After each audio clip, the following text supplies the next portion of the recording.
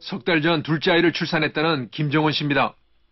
아기를 낳은 지 꽤 많은 시간이 흘렀지만 여전히 산후조리에 좋다는 미역국과 채소 반찬들을 챙겨 먹고 있습니다. 아들에게 3개월째 모유를 주고 있기 때문입니다. 단 한 번도 아이에게 분유를 먹인 적이 없다는 김정은 씨. 자신이 섭취한 영양소들이 고스란히 아들에게 전해진다는 생각을 하면 신기할 정도라고 합니다. 신기해요.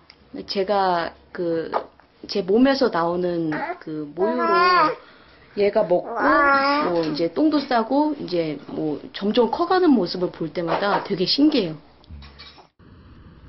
모유를 먹는 유승민 군은 아주 건강해 보였습니다. 영아 때 흔히 하는 설사조차 한 번도 해본 적이 없다고 합니다. 저희 애들은 항상 황금색, 뭐 단호박색 이런 예, 좀 건강한 변을 많이 봤어요. 어 기분이 날아갈 것 같아요. 그지? 기분이 날아갈 것 같아요. 오 이뻐라. 세 살인 첫째 아들도 잔병 치레 없이 건강하게 성장하고 있습니다. 김정훈 씨는 그때도 18개월 완전 모유 수유에 성공했었습니다.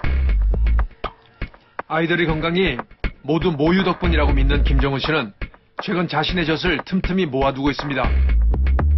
분유보다 모유를 원하는 엄마들에게 나눠주기 위함입니다.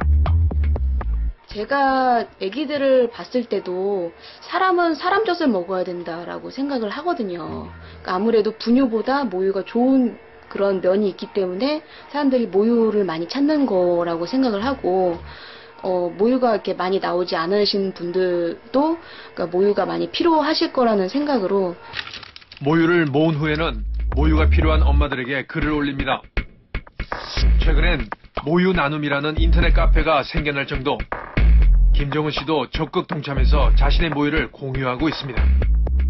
쉽지 않은 일인데 이거를 매일매일 유축을 한 거를 정성스럽게 짠 거를 자기네 아이를 위해서 준다는 거에 대해서 굉장히 고마워들 하시고요. 이렇게 잘 먹이고 건강하게 키우겠다 이렇게 얘기를 꼭 하시죠. 급속 냉동을 시킨 모유들은 필요로 하는 아기들에게 곧 전해질 겁니다. 예전의 젖동량이 분유가 쏟아져 나오고 있는 이 시대에도 이루어지고 있는 셈입니다. 모유가 그만큼 가치가 있는 걸까요?